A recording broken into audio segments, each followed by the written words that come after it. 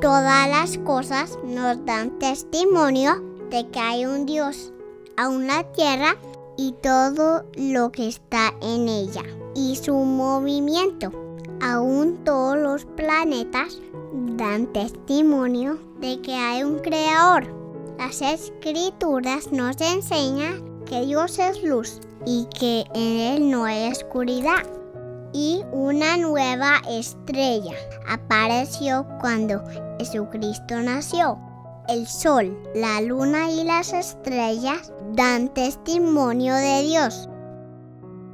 Las escrituras nos enseñan que las creaciones de Dios son tantas como los granos de arena que hay en el mundo entero.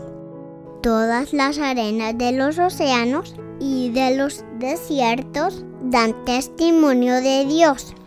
Las escrituras también nos enseñan que Él es como fuente de agua viva. El agua da vida a lugares donde no había vida antes. Y todos necesitamos agua para vivir. El agua da testimonio de Dios.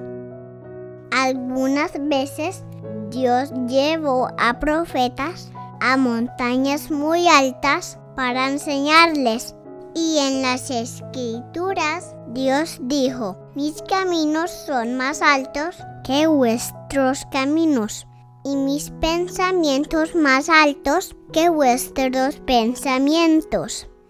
Las montañas altas dan testimonio de Dios. En las escrituras algunas veces se describe la voz de Dios como un trueno. Los truenos dan testimonio de Dios profeta Enoch vio a Dios llorar y sus lágrimas cayeron como lluvia sobre las montañas. Aún la lluvia da testimonio de Dios.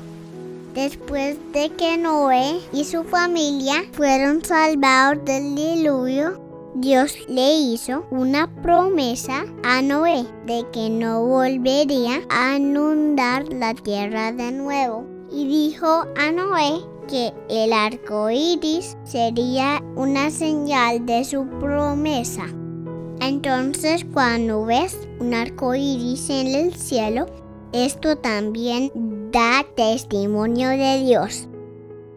Las escrituras nos enseñan que Jesucristo es la roca de nuestra salvación.